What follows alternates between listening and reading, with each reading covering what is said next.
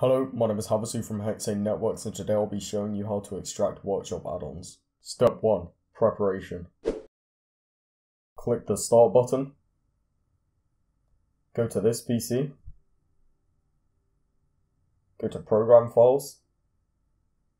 Click Steam. Steam apps. Common.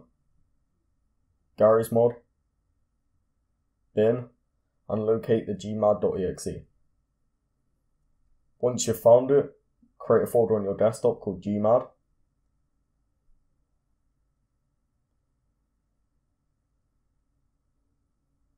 Then copy the gmad.exe and place it in the gmad folder.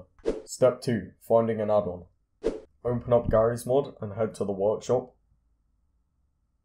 Search for the add-on you're looking for for this example, we'll be using World War II US Army player models. Then click on the thumbnail. Once you're on the add-on page, hit subscribe. And from there, you must wait for the add-on to download.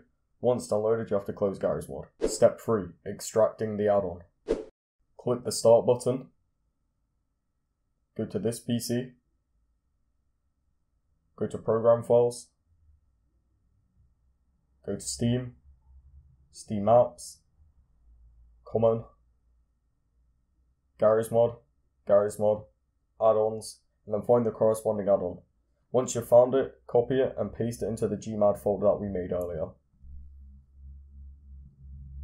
Then simply click and hold and drag the add-on over gmad.exe and it will be extracted to the same folder.